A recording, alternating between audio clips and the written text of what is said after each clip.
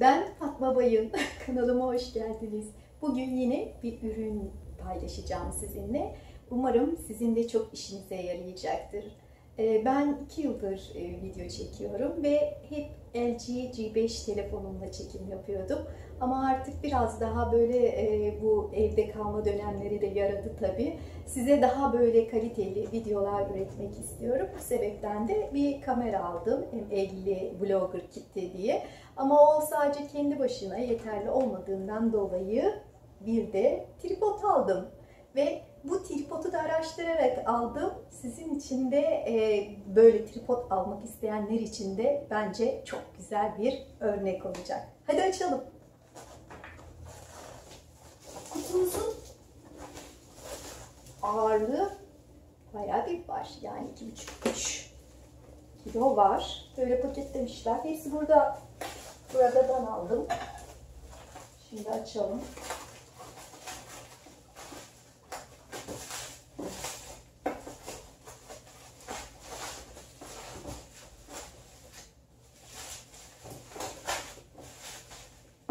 Zaten e, profesyonel olduğu belli.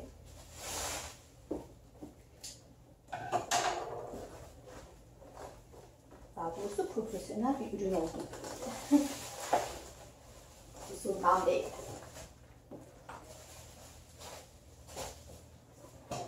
Evet, ürün bu. MK 190 XP R 03 3W. Yani o ne demek? Önce şu sıvayım değil mi?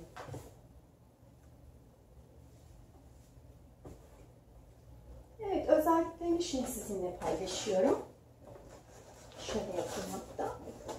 Ee, MK 190 XPR03 ve tire 3W.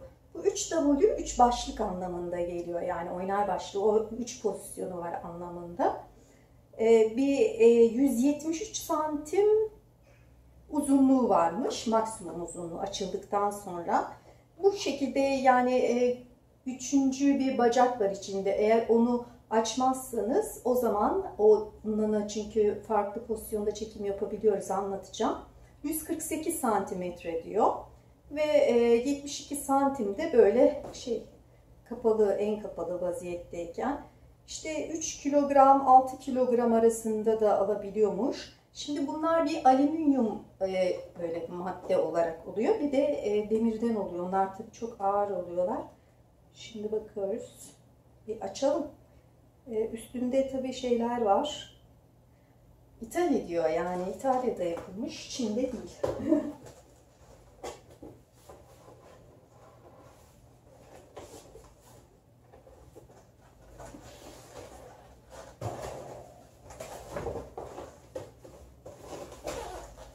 Yine nereden açacağımı bilemedim. Ve sanıyorum buradan açacağız. Kulakçığı var burada yanında. Bayağı bir araştırdım. Ee, tabii çok böyle e, basit, kurulumlu, kullanımlı, hafif olan yine istediğiniz boy boy ebatlarda da var. Fakat e, onlar da benim e, nereden bir şey alacağım bütün çekimlerim için ayrı ayrı tripod almak istemedim. Siz de e, belki beni takip edenler biliyorlardır. Tek düze video yapmıyorum ben. Tek düze video yaparsam bu sefer e, hiçbir videomu yayınlamak istemem. Çünkü iş profesyonelliğe dönüyor. Ben de mükemmeliyatçıyım. O yüzden de ben kendi hayatımda hani kendimi de hiç böyle e, sıkmadan, eğlenerek videolar çekmek istiyorum. Faydalı videolar. O sebepten de hem pratik bilgiler var, hem gezi var, hem işte ürün de e, arada tanıtımı yapıyorum. E, ve e, tabii ki faydalı olabilecek başka sizinle normalde kişisel gelişim şeyleri, videoları da yapıyorum. ASMR kanalı açmamı istediniz, siz istediniz, ben açtım. ASMR Holistik. Ama oradan destek bekliyorum. Videomun içine de yerleştireceğim.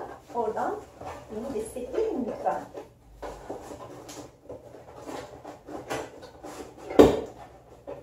Bayağı güzel bir paket yapmışlar. Sıkışık yani. Sıkışık olduğu için açamadım bir kapak böyle sıkıştırmışlar bununla iyice. Çıkartıyoruz.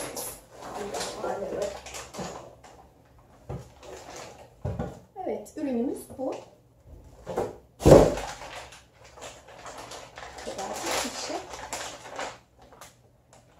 Şimdi zaten daha fazla açacağım.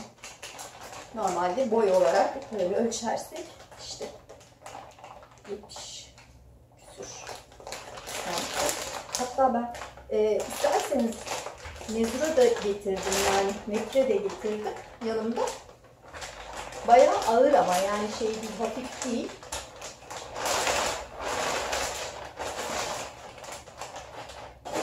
Hafif olmasını işte arzu edenler alüminyum alacaklar. Ee, ağır böyle demir hani evden dışarı çıkmayacaksanız o zaman demir olanını da alabilirsiniz. Tabi bunların özellikleri çok önemli. Sadece bir kamera ya da telefonla işte e, hani tek yönlü böyle önden falan çekim yapacaksanız problem yok zaten. Ama dediğim gibi benim gibi çok farklı tarzlarda videolar yapacaksanız çok önemli. Ben şimdi e, böyle üstten çekim yani yatay diyeyim yapabilmek için bir tane ayrı tripod, böyle karşıdan çekim yapabilmem için ayrı bir tripod, e, yandan e, işte hani çekim ama eğimli yapabilmem için ayrı bir tripod almam lazımdı. E, ama şimdi bunlara gerek kalmadı çünkü bu üçünü birden yapıyor. Piyasada fiyatlar farklı farklı. Ben hepsi e, burada.com'dan aldım.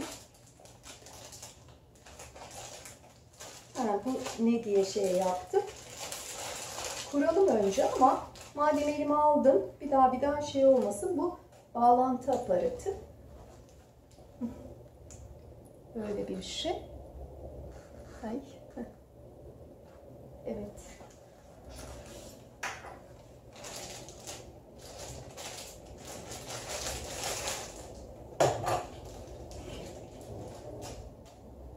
Şimdi efendim bunu buraya koyayım ben. Yine burada açalım.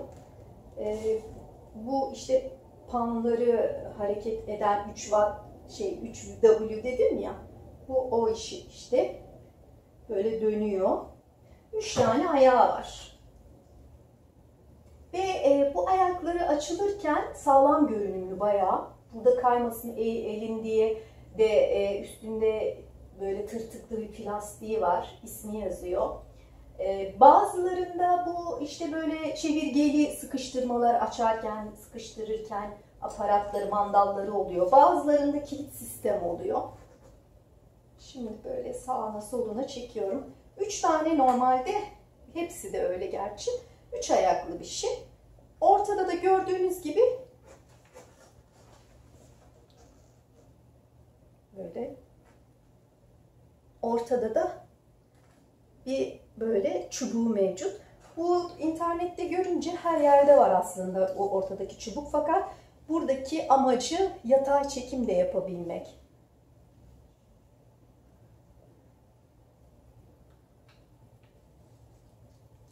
Ben de sizinle inceliyorum. Evet. Tek elde normalde kullanılıyormuş. Oo evet. Gördünüz mü? Bayağı bir şey şak diye açıldı. Şemsiye gibi, otomatik şemsiye gibi. Biz de şimdi açtık. Bunu da açalım. Şu şekilde e, saatin hani böyle şeyleri vardır ya. Gördünüz mü? Sonrasında da bunu tabii şey yapmak gerekiyor. Kilitlemek de gerekiyor. Şimdi ona da bakarız neyse. Ayağını da yapalım.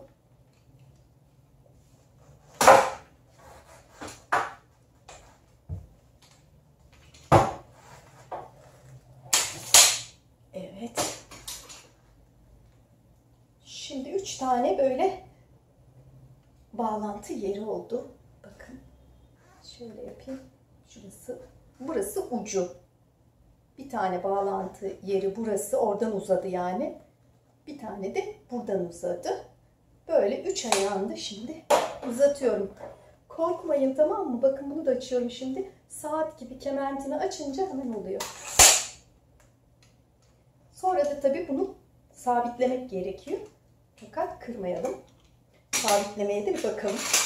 Şimdi bunu da yapacağız alttakini de.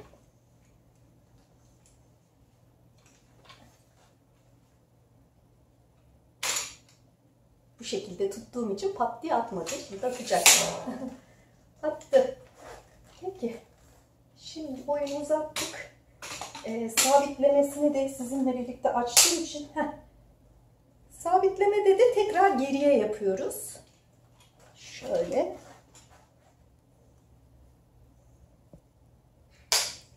Tık yaptı. Bunda da öyle. Bakın şu açık kısmını, şu açık kısmını buradan parmağım geçiyor. Elimi geçiriyorum. Buraya bastırıyorum. Bastırdım. Şimdi tekrar burasını da açıp da uzatmıştım ya. Bakın burası. Tekrar elimi geçiriyorum. Parmağımı buradan ve böyle kapatınca tık yapıyor. Şuradaki ortadaki boruyu göstermek istiyorum. Bu boru normalde başka ucuz olanlarda yukarıya doğru çıkartıp boyunu uzatmaya yarıyor. Bir tanesini yapmadık herhalde. Evet. Şunu da yapalım. Bunu da şu pozisyondan yapalım. Şu şekilde yani kapatmış oluyor. Sıkıştırdım.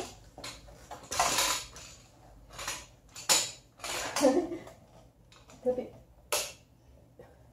3 ayağı var ama 2 taneden 6 tane olmuş oluyor. Evet. Birazcık daha hani e, şey yapsam mı size daha rahat göstereyim diye ama geri mi gideyim? Hı. Görebiliyor musunuz?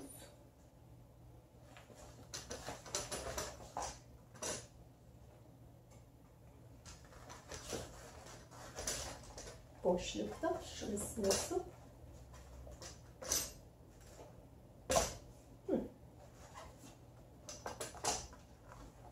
Böyle iyi oldu sanırım.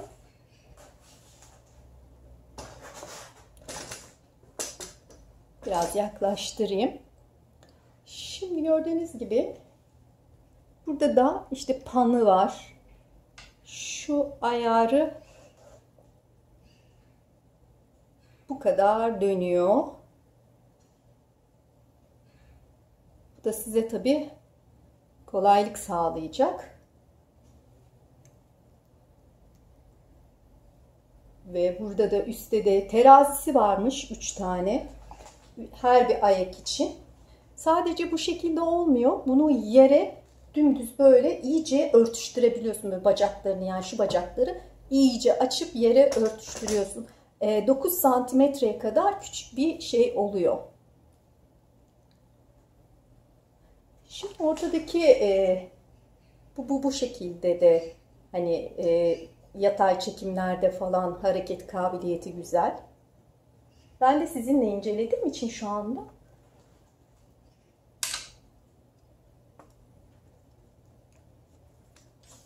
şuradaki mandalı çeviriyorum. Şuradaki şuradaki mandalı ve buraya gevşetince bu ortadaki çubuğu yukarıya doğru çıkarabiliyorum. Tabii bu sadece bu işe yaramıyor dediğim gibi. Ee, benim normalde yatay olarak bunu çevirmem lazım. Onun da bir formülü mutlaka vardır. Ama nasıl şu an onu bilemedim.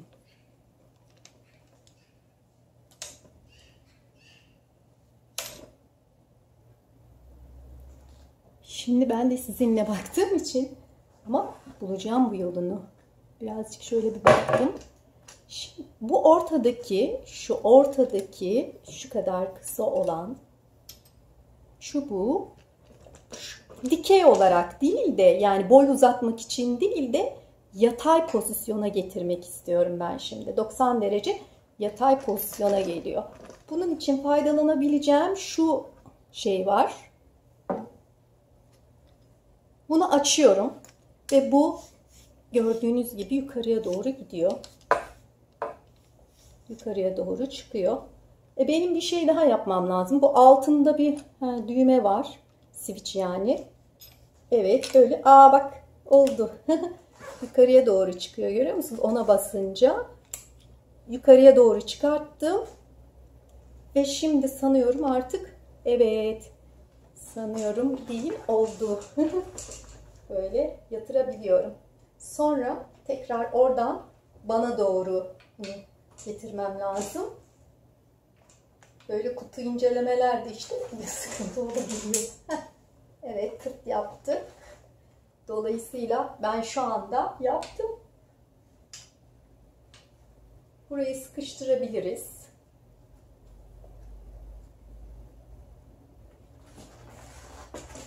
Getireyim şimdi. Gördüğünüz gibi artık bunun altında da yani şurada da videolar yapabilirim. İşte bir şeyi e, gösterirken mesela örgü örerken, yemek yaparken, kutu açarken e, bu üstten gelecek şeyleri, aparatları cambazlıklar yapmama gerek kalmayacak. Diğer ürünlerle nota sehpasını falan kullanıyordum ben. Onlar da böyle ayakları böyle açılıyor ya. O sebepten görünüyordu. Bunda görünmeyeceğini umut ediyorum. Şu e, şeyin boşluğuna getiririm. O zaman e, görünmez diye umut ediyorum. Şurada gördüğünüz aparatlar bunu bastığınız zaman bacağı sağa sola açmanız, kapatmanıza yarıyor. Tekrarlıyorum. E, bu yatay çubuğu oluşturabilmek için ya boyu uzatıyorsunuz. Bu kadar maksimum boy oluyor. Eğer boyunu daha çok uzatmak isterseniz 73'e kadar, 173'e kadar o zaman bunu dikey olarak kullanıyorsunuz. Sadece dikey olarak değil, yatay olarak değil bir de üstelik şu şekilde de bir ayarı var. Eğim ayarı var yani sağa sola ve aşağıya yukarıya doğru. O yüzden çok kullanışlı olacağını düşünüyorum. Kullanırken tekrar sizinle e, deneyimlerimi paylaşırım. Şimdi ne yapalım? E, size terazisi var dedim. Yani su terazisi var dedim. 3 tane su terazisi var. Her yerden e, düzgün ayaklarını böyle tutabilmemiz için. Çünkü üstüne bir şeyler de ilave edince e, risk yani makinalara günah değil mi? Ve e, tek elde gerçekten kurulum yapılabiliyor. Böyle bazı şöyle aparatları var. Bunlar da e, işte frenliyor. Şunlar frenliyorlar. Ne dedik? Şu klipsleri göstereyim tekrar size. Böyle şu şekilde pat açıyorsunuz. Artık öğrendik ya pat kapatıyorsunuz.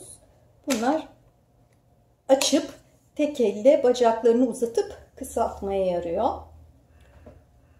Bunlarla da bacak aralarını açabiliyoruz. Ee, çok böyle bayağı bir ciddi ciddi açabiliyoruz. Yani e, yerle örtüşüyor diyebilirim. Şimdi yapmayayım ben onu. Alanımız dar diye. Ama size şöyle de göstermek istiyorum.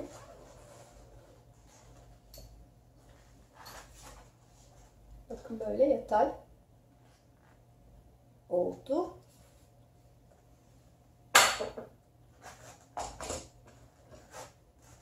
Tekrar şurasını göstermemi arzu ederseniz eğer şu aşağıda bir switch var.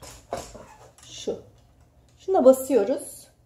Buna bastıktan sonra bu ileriye gidiyor zaten. Ama bundan evvel şuradaki kelebeği birazcık açmamız lazım. Şu kelebeği açıyoruz. Bu kelebeği açtık. Ve şimdi yani şu çapı genişletmiş olduk. Şimdi de buraya basalım. Buraya bastık ve itiyoruz. Geriye kadar neredeyse çıkıyor. Sonra bakın boruyu düz tutuyoruz. Düz tutup yine yuvadan geriye doğru. Ay pardon. Tık etti zaten. Bu şekilde tekrar yuvaya oturtturuyoruz. Ve şuradaki kelebeği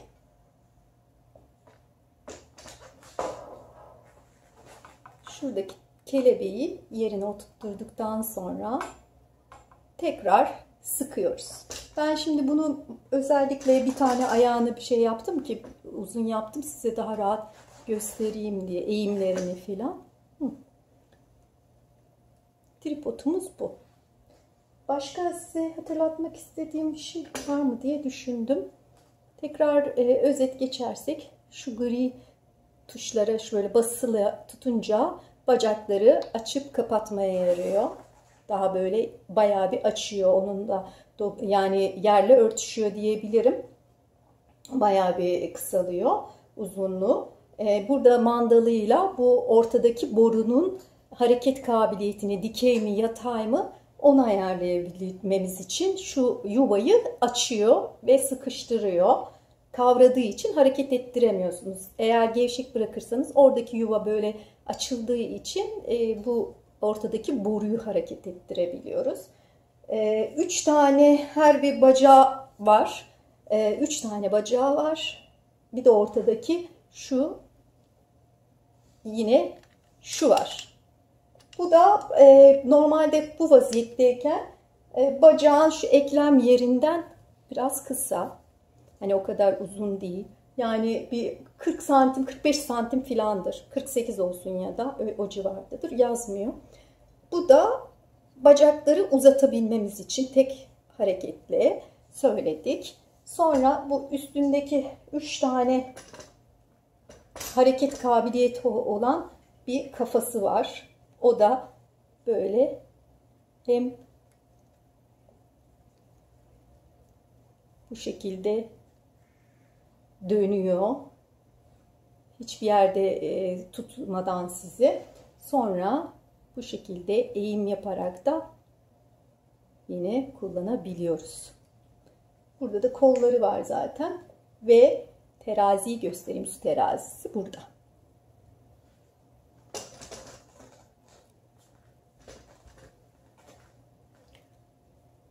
Şurada 3 tane terazisi var.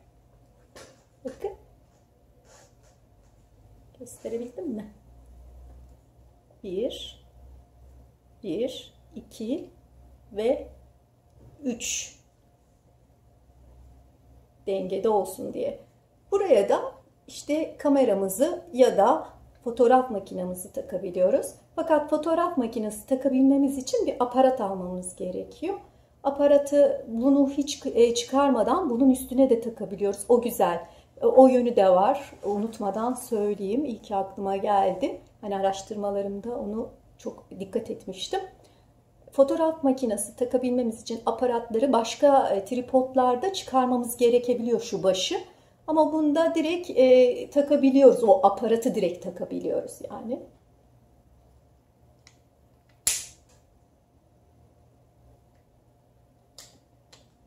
Evet.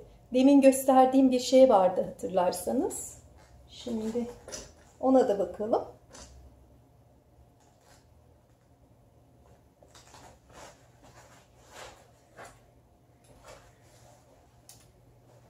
Şuydu.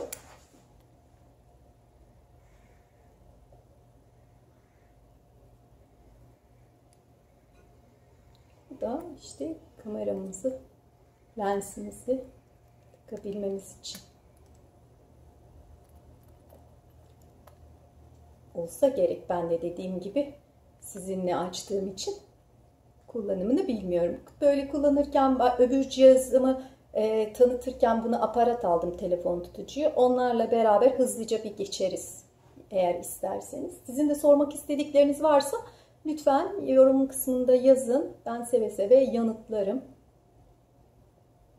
Fiyatını söyledim mi? Değişik fiyat yerleri var.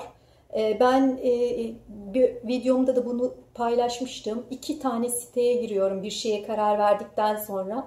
akakçe.com ya da cimri.com diye. Oradan en uygun fiyatı buluyorum ve oradan alıyorum. Bir, birkaç mağazayla da böyle yazıştım ve de aradım yani. Başka yine oradaki satıcılarla.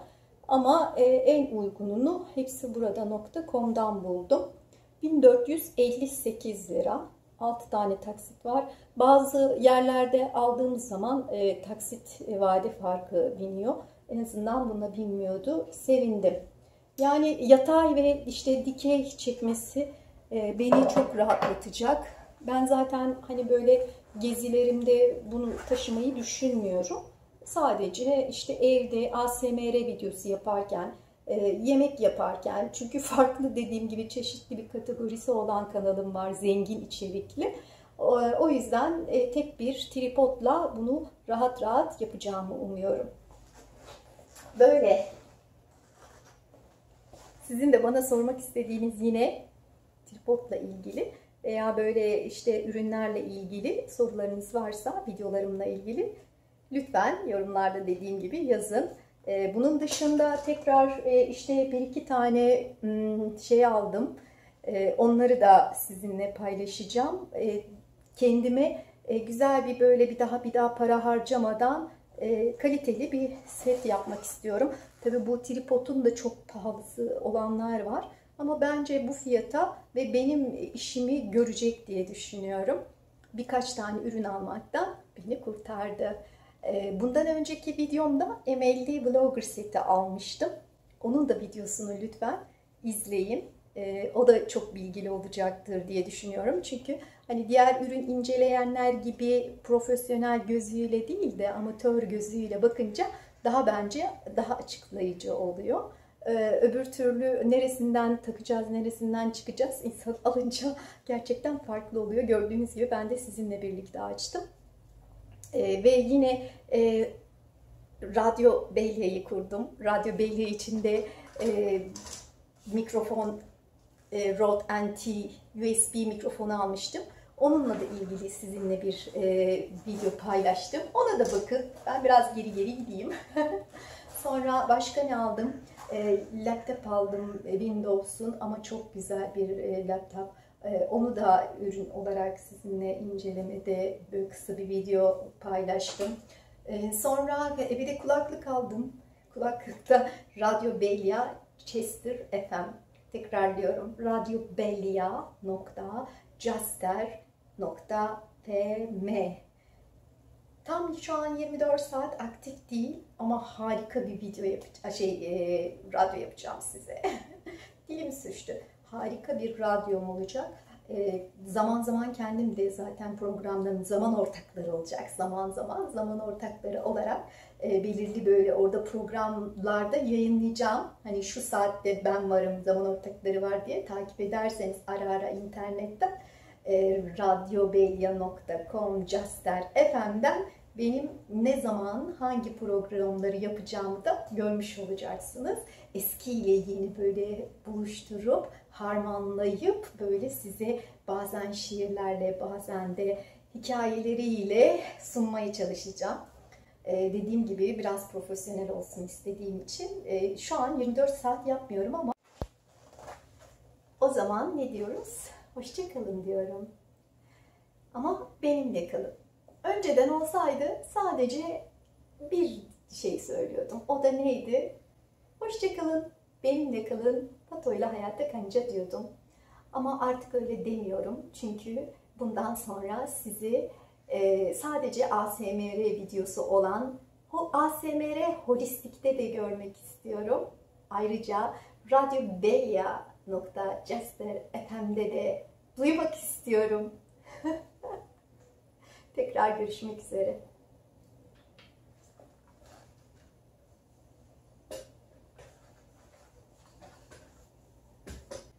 Hoşçakalın, benimle kalın, Fato'yla hayatta kanca diyordum. Ama artık öyle demiyorum çünkü bundan sonra sizi e, sadece ASMR videosu olan o ASMR holistikte de görmek istiyorum. Ayrıca Radyo Belia www.jasper.fm'de de duymak istiyorum. Tekrar görüşmek üzere.